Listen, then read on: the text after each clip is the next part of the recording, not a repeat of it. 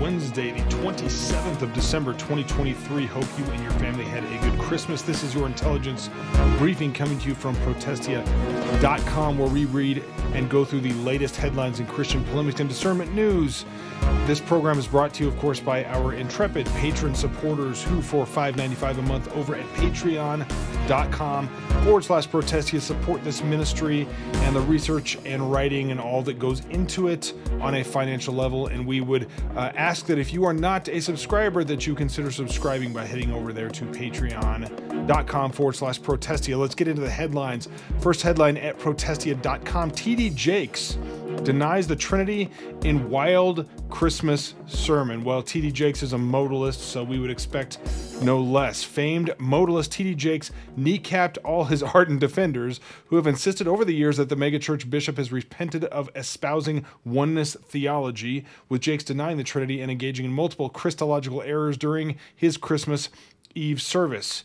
TD Jakes, through, through uh, though continuing, excuse me, to be platformed by all manners of Christian celebrities and leaders, has gone on record saying he doesn't believe Jesus is the second person of the Trinity, but rather just a manifestation of God. Even now, his church website reads, "There is one God, creator of all things, infinitely perfect and eternally existing in three manifestations." We know this is not what the Bible teaches, but it is still on his uh, heretical statement of faith um, on his website back in 2011, he was invited to the Elephant Room. That was James MacDonald of Harvest Church's uh, get together of all sorts of uh, different Christian persuasions at the roundtable. Prominent Christian pastors from different perspectives would be asked hard questions. And uh, Phil Johnson had written at the time, I believe, about Jakes' appearance at the Elephant Room, a self styled bishop, quote unquote, notorious for his love of money, who teaches a false prosperity gospel, who freely shills for every aberration on TBN, who was ordained in a Sabellian denomination, who has been confronted repeatedly about anti Trinitarianism, who refuses to renounce modalism, who declines to embrace any standard expression of Trinitarian conviction. Such a figure should not be warmly welcomed into evangelical circles and given the platform at an evangelical conference as if we're confident he's a solid brother with good intentions. So it was, uh, yeah, James MacDonald and Mark Driscoll at the time playing the fool. Let's see if we have some quotes here. You know what? Let's just listen in. God wrapped himself in a meat suit. Incarnation means in meat. N M E A T to M E E T U. Well, that's clever. I came down on your level. I came where you could touch me. I came where you could see me. If I had shown myself in my original state, it would have been too much for you. It would have burned the eyeballs out of your head. So I hid myself in a meat suit just so we could have a conversation. This is terrible. Absolutely terrible. Absolutely a false teaching on the nature of God, on the three persons of the Trinity. Incarnated divinity. The Creator has now become subject to what He created. No, that's not true either. He gave up His omnipotence, His omniscience, omniscience, and His omnipresence. He submitted Himself to prayer because he'd given up omnipotence, all powerful. Now he has to go to the garden and pray. Omniscience, because he says, No man knoweth the day nor the hour which the Son of Man cometh, no, not the angels, nor the Son, but the Father which is in heaven. Means I don't know everything anymore. You know, this this would be funnier if it wasn't so horribly offensive and yeah, heretical, leading people straight to hell. I'm sorry, but if you believe falsely, well, no, I'm not sorry. If you believe falsely about the nature of God, you believe falsely about the person and work of Jesus Christ, uh, you know not God, and you are, you will be judged and thrown into hell. This is a serious matter, and as ridiculous as it is to listen to TD Jakes go on and on about this, uh, we're going to move on. Just know that uh, yeah, modalism is a a heresy a soul damning heresy. Moving on, next headline at Protestia Mormons spend millions lighting up Times Square. I first saw this on X from Jack Posobiec. I think that's how he pronounces the name, the political commentator, talking about how wonderful this was and sharing a video of all the people that were amazed by all of the the screens in Times Square. I think it's 27 screens, 27 billboards in Times Square lighting up with the story of Jesus. But then uh, Jack cut off the end of his video to not have to admit that it was the uh, uh Mormon quote unquote church, which is a cult. It's an anti uh, anti biblical uh, heterodox cult had been the ones who had paid for all this and put this up. Uh, our article reads The Mormon Church spent millions of dollars this Christmas lighting up 27 Times Square billboards as part of their Light the World campaign, sharing with the world a nativity story that presents as Christian but in reality is produced by cultists. So this was a uh, there is a brief overview of the Mormon views on Jesus and other things that we have linked uh, here from from nam.net, not an endorsement of NAM, of course, fully, but it is good information. And then a description of exactly what happened, including this is the the YouTube video that was put up by the LDS uh, the LDS cult to uh, show what they did. And like I said, I saw it on Twitter with a couple of people chopping off the end of the video so as not to admit that it was uh, the Mormons who actually paid for this. Um, you can read more about it over at Protestia. Next headline this from Life LifeNews.com, Planned Parenthood admits to taking teens out of state for secret abortions. Quote, we never tell the parents. No shock here. They've been doing this for a long time. This is somebody named Lashana, a managing director at Planned Parenthood in Kansas City, Missouri. Um, a new undercover video just busted the nation's biggest abortion business. Planned Parenthood employee is shown on the video admitting that the abortion giant takes teens, teen girls out of state for secret abortions as you can plainly see, Planned Parenthood is a a nexus and a central point, a pivot point for evil in the modern age.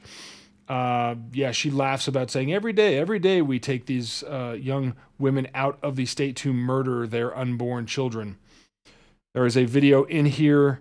Uh, which we don't have time to go through right now, but you can go through by going over to Protestia. We have this article linked over to the Life News article, and you can see the undercover video uh, where Priscilla Jones, the receptionist at this Planned Parenthood, I guess, and this other person admit to the evil that is going across state lines to murder the unborn. Next headline at Protestia Transformation Church Christmas Eve service evacuated after bomb threat. Transformation Church had its Christmas Eve service turned chaotic after congregants were evacuated mid service, the results of threat, threats made against the church. This is Mike Todd's church, and halfway through his sermon, as he was he was unwrapping presents on stage when executive pastor Charles Metcalf approached him and informed him of the threat. The church shut down the service. Law enforcement quickly arrived and swept the building with the help of the church's security team, but found nothing.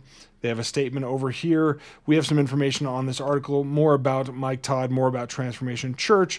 Safe to say that bomb threat or no bomb threat, uh, it is not a church that we would recommend attending or mem- being a member of or partnering with in any way. Next headline at Protestia IHOP worship team refuses to evacuate room after bomb threat kind of a related story in a way, and keeps playing while cops and canines search the worship team. Now, one thing you have to know about the International House of Prayer is um, they keep their uh, worship, whatever you want to think about the validity of the worship, they keep it going 24 7. So this actually kind of makes sense. The worship team at IHOP refused to leave the stage after a bomb threat was made against them, with leadership asking attendees to evacuate. The worship team was given the option to stay on stage or leave, with many choosing to remain, while law enforcement uh, and canine units swept the room around them. And IHOP leader told the audience, "We've been re- we have been reported. It has been reported that somebody put a bomb inside this room. So police are going to do some search, see if the room is safe. We ha- we will have the worship team continue. I will be standing right here, and we will inform you if you are safe to come back in the room." Now, our article says it's unclear why they chose to remain in the room despite the threat, but notably, IHOP KC has had a prayer room with live worship music and prayer being played around the clock 24 hours a day for the last 25 years. However, they have occasionally, quote, moved the fire to different parts of the building, such as when the room required their carpets to be cleaned or during conferences. You can read more about this at protestia.com, including a Twitter embed of the stream itself or when this happened. There's video of this at Protestia. Next headline this coming from MorningstarNews.org 160 people massacred in Christian areas of Plateau State in Nigeria. Terrorists massacred 160 people, many of them preparing for church Christmas programs Saturday night through Monday in a coordinated attack on predominantly Christian areas in Plateau State, Nigeria. Church pastors were killed and hundreds of houses were destroyed in the massacres in villages of Barkin Ladi, uh, Bokkos, and Mangu counties, officials and residents said. You can read about this. We have this at Protestia as a curated post and a link to the Morning Star News that describes what happened. Uh, of course, our, our prayers and consolation are with those who. Uh, were murdered, and we pray that uh, they were saved and known by the Lord and in heaven right now. And we would, of course, also pray for justice to be done and the evil murderers that did this to be uh, brought to justice um, swiftly. Next headline at Protestia financial guru Dave Ramsey wins case against COVID complainer, but class action lawsuit still, still looms. A federal judge has dismissed a lawsuit against Christian financial guru Dave Ramsey that sought damages for the discrimination around COVID protocols and what he claimed were and what claimed uh, I guess the the uh, plaintiff here claimed were poor working conditions. Brad Amos was a senior video editor hired in 2019. Once the pandemic hit, he told his bosses he wanted to work from home to protect his health and that of his family, which he says was in accordance with his religious beliefs. His request was denied. He was terminated in July 2020. According to Amos, his six-year-old son has Coats disease, a rare disorder involving an overabundance of blood vessels in the eye, and his wife is, quote, predisposed to pneumonia. Therefore, he took measures to ensure their safety. All the while, Ramsey was publicly berating anyone taking preventative measures in the office. This is what the plaintiff claims. Apparently, um, the district court in uh, Tennessee ruled that Amos's lawyers had failed to show he'd been misled um, about the working conditions and that representing a company as drama free or family friendly was a statement of opinion, not a promise, the judge ruled. Uh, Ramsey is still facing a, a class action lawsuit after being sued by former followers for $150 million over his endorsement of a failed timeshare exit company that defrauded customers out of millions. We have a few other uh, articles about our concerns with Dave Ramsey at the bottom of this one at protestia.com under that headline that uh, financial guru Dave Ramsey wins case against COVID complainer. Next headline at Protestia abortion abolitionist has murderer sign confiscated at NBA game. So, prominent abortion abolitionist Russell Hunter caused a bit of a ruckus after holding up a sign at yesterday's NBA game. This is a picture right here of him holding up the sign saying Anthony Edwards, a, uh, who I believe is a point guard or a shooting guard uh, for the Minnesota Timberwolves uh, is a murderer because he paid uh, either his girlfriend or a girl that used to be his girlfriend to abort his unborn child. Yes, that would make him a murderer. Hunter was referring to Minnesota Timberwolves shooting guard Anthony Edwards, who pressured a woman he was seeing to have an abortion after getting her pregnant, offering her $100,000 if she murdered his and her baby, then asked her to send proof once the abortion was complete. Hunter said the sign was confiscated, from him, but plans to. This is uh, um, Hunter, who was in the brought the sign to the game, plans to release a video of the incident soon. This is a tweet from Abolitionists Rising that shows the pictures, and yes, of course, we would second the fact that Anthony Edwards, the um, shooting guard for the Timberwolves, is indeed a murderer. In fact, a pay uh, a pay to murder murderer for funding this and for going along with it. It's evil, and he needs to repent in places faith, hope, and trust in Jesus Christ. Next headline from the Daily Citizen Christian mom defends her faith, sues Oregon for preventing adoption because of Christian beliefs. Um, this was by Nicole Hunt uh, yesterday. Uh, all all one Oregon mom wanted for Christmas was to welcome children from the foster care system into her family. Instead, she's suing the state of Oregon for religious discrimination. Oregon is refusing to let Jessica Bates adopt foster siblings because her Christian beliefs about human sexuality. She believes Boys and girls are biologically different, and those differences are good and should be celebrated. Oregon state officials say Bates is unfit to adopt or even participate in the foster system because she will not agree to use preferred pronouns or assist a child in gender transition.